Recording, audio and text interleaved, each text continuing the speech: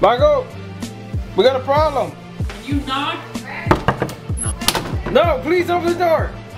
Michael, we got a problem. Get ready. Michael, we got a problem. Get ready. Michael, we got a problem. Put on a shirt. okay.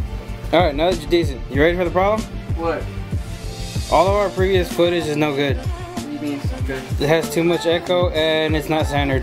So you mean we don't have a microphone for it? Well, yeah, but I'm talking about all the footage from the warehouse, from the shop is all terrible. So we're going to have to re-record everything. Yeah, I don't think so. Yeah, I don't think so either. So we're not gonna re-record everything. We're just gonna go ahead and summarize. We're just gonna summarize what we did and show you the car. Okay? Okay. and it's wet, raining. I shouldn't bring the camera out here. But we're going anyways. So there's my car. No, it's not a 2002, it's a 2001. And it's sexy to me. It's got that beautiful blue. And it's got different color body panels because those are the ones that were damaged. So I'm gonna try to hurry up and wrap this up in the rain because it's it's bad. It's bad over here. So it's bad for the camera anyways. Alright, so anyways, this is it. The car we found on Craigslist for 800 bucks right after we made that video. Right after, right after we made that video about how we were gonna build the other Lexus, that, that we were gonna put a road chassis and all that. So, no autofocus, what can you do? He's got the photography lens on the camera right now, so I can't do anything but just work with what I got. So anyways, so far what we've done with the car is we've changed the water pump, everything, all the water pump components, we changed the serpentine belt, found a couple ignition problems, it had misfire, um, we fixed that. Now we have a catalyst problem, so we're gonna try a couple tricks I found on YouTube, and I'll be able to record that and show you guys, uh, see if it works or not. But um, I just wanted to make this quick little video because I am three weeks behind, and that's not good. And so far I've been so busy with work, and then as you can see, the weather has not allowed me to do anything. I also have a sunroof leak on this car, and it sucks because the interior that Michael swapped out, the the ugly beige interior he put in his nice black interior that that we had in the shop. Now the passenger seat has mold on it, and that's not cool. So now I have to take it all apart, and I have to pressure wash it and everything. So I'll have to show how that is gonna go. But so far, it's running pretty decently. Just trying to get a wider shot. Can't really do much when I'm right next to the house. So, but yeah. Um, I did get a timing, uh, timing. Uh, I got a cam gear for it, adjustable cam gear from NST. I'm gonna be ordering the uh, other pulley set, but that's gonna be later on. Um, for now, I want to try to fix the main issue, which is the catalyst. See if I can fix that. And I know I'm later on I'm gonna go probably full exhaust, and then I gotta change the strut on the passenger front, right there, passenger front. That's the side I gotta change because the whole car is like leaning. It's not that noticeable, but if you're like staring right at it, you can notice it. When you drive, you can feel it pull a little bit to the right, but it's nothing too big. So, that's pretty much it. It's a short, quick little video. Um, I'll try and see if I can get my own T3R or something like that. Because recording with this is so much easier. For some reason, my iPhone, with all the freaking updates, it's messed up my camera. I can't really record right. All the footage I, I convert, it ends up upside down. So that's the other reason why I'm so far behind. So I'm gonna have to try to find me a professional camera because this this feels a lot better. It does. In the middle of editing, Michael came over my shoulder and saw the footage and he was like, it's not that bad. Go ahead, make a time lapse and just throw it in the video. So here we go. Here's the time lapse in the video. Hope you enjoy. What's up guys, Tali here. As you can see behind me, I don't know if you can see behind me, but we got Alan Manang in the back. It's a collab video today. So what we got here today, my Lexus. Yeah, I know I showed y'all in the other video, the wrecked one, on a trailer, sitting in this very spot. Well, Michael found me a very good deal. Got this Lexus here for $800. Runs, drives, just needs a water pump. Registration's still good. Title's rebuilt salvage. I mean, what do you expect for 800 bucks? I already got the serpentine belt, the water pump kit, and I got all these body pieces to fix all the damage. So, what you're gonna see today is us put a little bit of something something together and get this car running tonight with the help of Alan. So if you don't already know, like I said, it's a collab video with Alan Nang. Check up his name. I'll have a link in the description below so you can check it out. He has very good videos. He has videos of his Miata build uh, with Solo Dolo and his slide hose uh, company. So you might want to check that out because he's got some pretty good videos. So let's go ahead and get into it.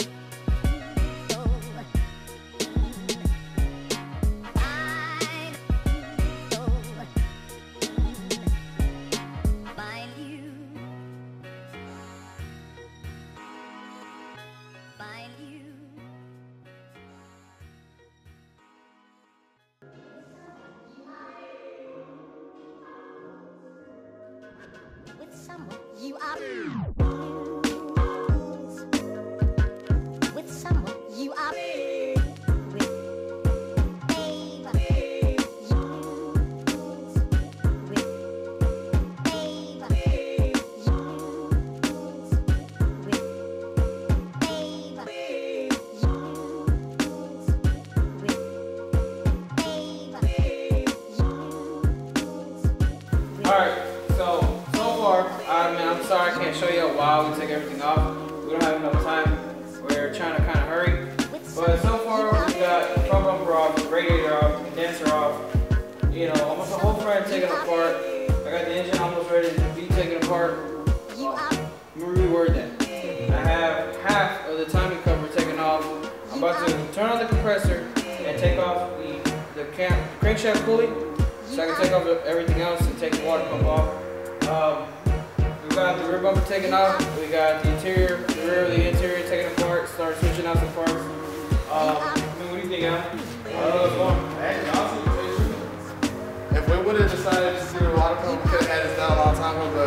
But we're like three heads are better than one, so let's knock out all of it at one time.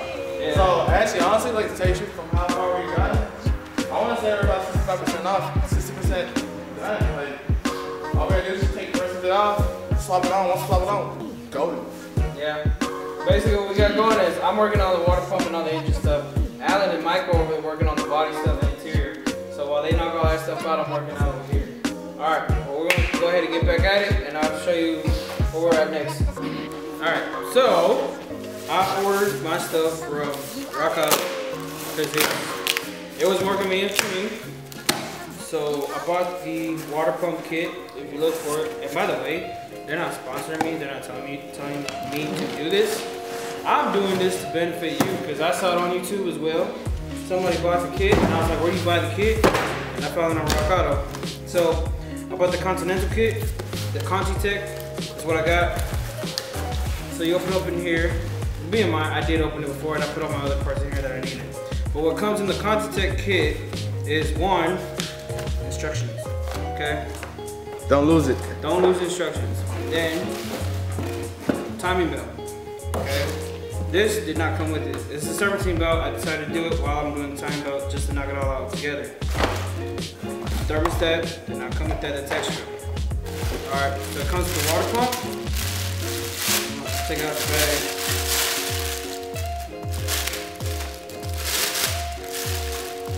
Brand new water pump, good teeth. Make sure it turns. Mind you, you're using your stock pulley. You gotta use your stock pulley, yeah. Alright. they give you new studs for the pulleys if you break them, or if for some reason you need new ones, they give you extras. Then you got the tensioner, time belt tensioner. You got the seal for the water pump. And then I feel bad because I don't really know the name of this part. But we know where it. But it's literally like right on. It goes like about right here. I could be doing it wrong, but anyways, I'll show you how to put it. I'll show you once I'm done how it all goes.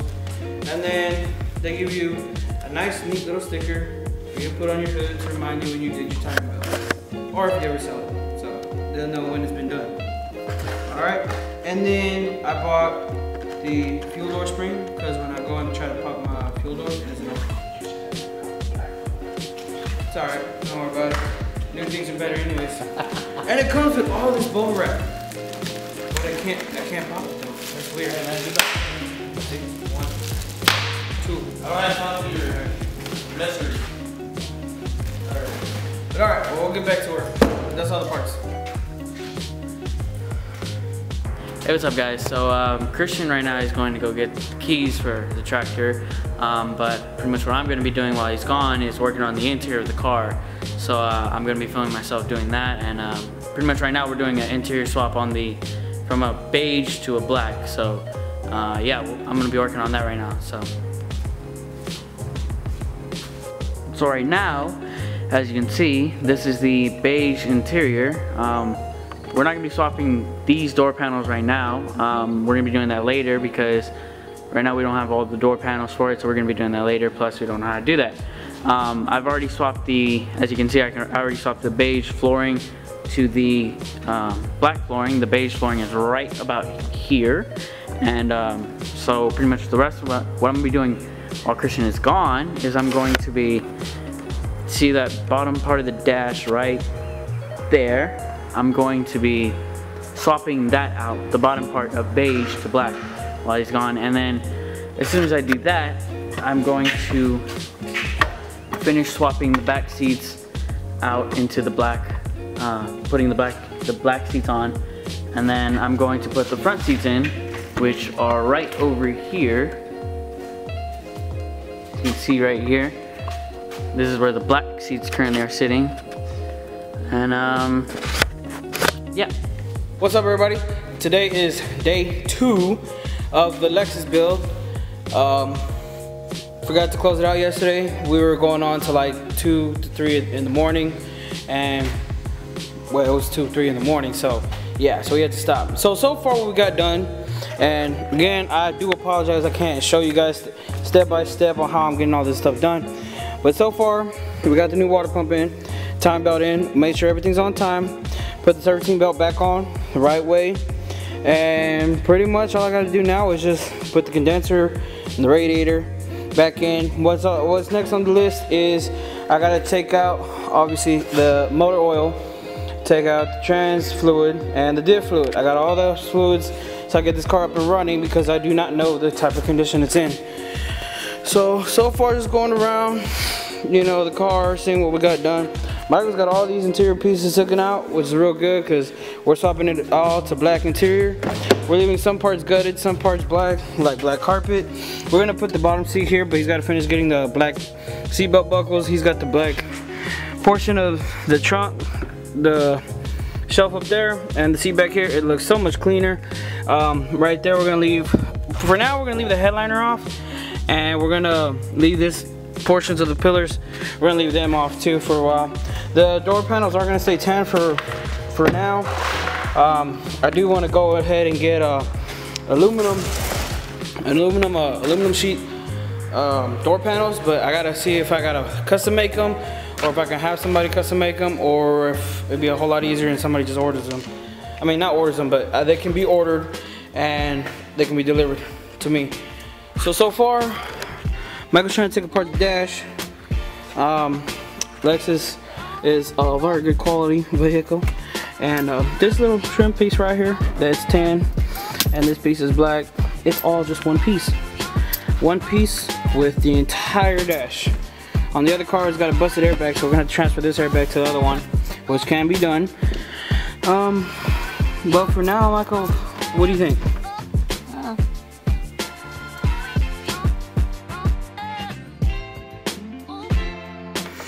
Is it worth ch changing uh, black uh, tan interior to tan? I mean tan interior to black? Yeah, I mean, the tan doesn't really look that good. Yeah, tan look like crap. This piece is ripped off, so I'm gonna have to replace it anyways. Yeah, pull it again. It's all broken right there where the key ring goes, the key goes, all these pieces. So yeah, the headliner gone, it's starting to look, in my eyes, it's starting to look better than what it was. Cause that tan, that tan carpet looked hideous. Here, I didn't even get to show you guys the seats. These are the seats out of it right now. This was the driver's seat, this one right here. This right here was the driver's seat. It is black. That is not, that's some of it's my shadow, but I'm gonna try to get out the way. Michael, flip the other light, please. Flip the other light. So, that right there, oh, wow, now I got more shadows. Okay, it's all good. So this was the headliner. The headliner was pretty decent, but the seat, there's no shadowing on it. That's literally how black it is. I just really wanted to show y'all. It's all torn up right there. And so we got this bumper right here. This was the first bumper from the gray Lexus on his first minor accident. And um, it cracked right there and had a dent. That's the bumper we're gonna be using compared to mine where it's all chopped up from here. And I'm just gonna go ahead and drill the holes and zip tie this back together, push this dent out. Um, it's plastic, so it'll it'll move. Um, this is the beautiful spare engine, the 2J. Um, you guys saw that I pressure washed in the beginning of the video. Um, it also came with the trans, of course the head and everything's over there. There's the fender that's gonna be going right there. We just gotta pull the the that crash zone for a little bit, and then this is the bumper off the black Lexus. So we got a lot of different parts um, from three, from two to three different Lexuses, and um, mainly it's just cause um, it's just it's just we found good deals, and when you have like that many cars that are the same, you can really get it down. Oh my gosh, look at that sky! Doesn't it look amazing? Here, let me just show y'all. Just look at that sky out here wide open air. Oh man, a person can really breathe out here. Hey, look, peekaboo, there's the X Runner. Oh, don't worry, she's not really under that trailer. But um, yeah. So the whole reason why I'm doing the whole Lexus build is because the X Runner is missing fifth and sixth gear. I believe the shift, uh, the shift fork broke. Um, so I'm gonna go ahead and uh, uh, take the transmission down, and I'm just gonna go ahead and do an R154 swap. I found the plate. I got to get the bell housing for my automatic Tacoma because uh, that's the way it works. Then I got to figure out how to engineer a, a, clutch release system for that for that bell housing, and then this truck will go from a six-speed to a five-speed. And a lot of people probably not gonna like that. I, I didn't like that idea at first because I was losing a gear, but in reality, that R154 is from the Supra. And it, it does pretty good. A lot of people I've heard on YouTube complain that it's like a truck transmission. But thinking that this is an X-Runner, it's a truck. Well, if they say it's a truck transmission, why not put it in? If it's robust and it's strong and it's hard to brake, why not? Because this Aisin RA60 six-speed is not doing anyone any good. A lot of people have problems, and there's only select few that have uh, no problems whatsoever. They're like, oh, mine has so many miles and I don't have any problems. Well, you got the good one. Congratulations. But there's too many out there that have been flawed and I just way too many problems with cheap synchros and and all that stuff. I mean, this this is so far the progress. The progress with the car. Um, finally got some free time. Came back to get get some work done. That's like I just got here, so that's why you see all this stuff here. The four wheeler here, the trailer here, the tractor over there. Uh, about to move all this stuff out. I'm gonna start putting some stuff together, and um, I'll re-update you guys because we're trying to we're trying to move quickly. Um, these are all the old parts and stuff like that. I mean, that color is just phenomenal. I love that color, but that fender is just all wrecked up on the front. See, it was like beautiful. Oh, so beautiful. And then dun dun dun. So yeah. All right, guys. Um, so quick little update. I've got the radiator back in. I don't know. I mean, I've got most of the front end back in, back together. So it's coming along real good. I found the my replacement tensioner that I had hiding around. I forgot all about it, so I had to take the radiator back out and replace this. Got it back on, good to go. I got the oil drain, I changed the filter, put a Purolator in there. Um, I was checking the spark plugs because I had checked the engine because I had check engine light, and it had said that it had uh, a cylinder 4 misfire and a random misfire. And um, turns out it was this clip right here. It's for the, um, let me see, let me focus that out for you. It's for the uh, ignition coil. And when you change the spark plugs, you gotta pop them out. So I guess the last person who did this, or the last shop that did this, broke these clips. So when I take them off, um, they basically fall apart. So this one right here, the one in the middle was the worst one. And I had to run to the store and they only had one and I was only able to buy that one. So when you do this, you gotta take the oil body off, the little gasket, the rubber gasket that's reusable. And so that's for, that's pretty much the update um, on the motor and everything up front. I still love that color. I'm currently draining the transmission fluid.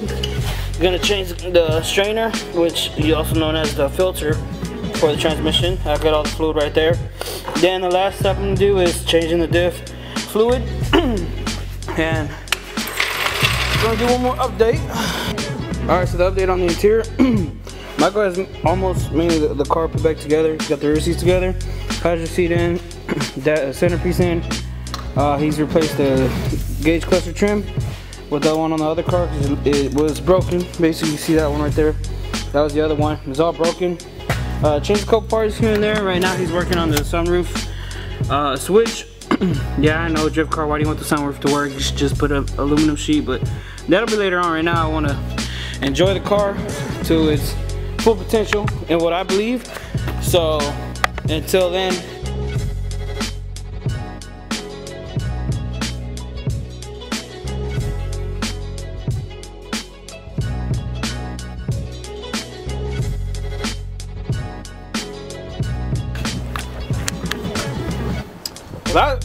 that, was a long video i'm not gonna lie. All my other videos are normally like three minutes five minutes but this one 20 minute video man that hit the mark. Well appreciate you guys riding along with me and seeing how how long it took me to get this car up and running without it overheating or anything like that. And yeah it was very lengthy process. It took us two days.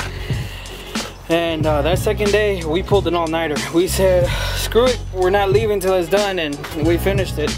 So yeah pretty pretty excited man. It's, this is gonna be good 2018 with this car. It's gonna be real good so I want to appreciate you guys for watching and I'll see y'all later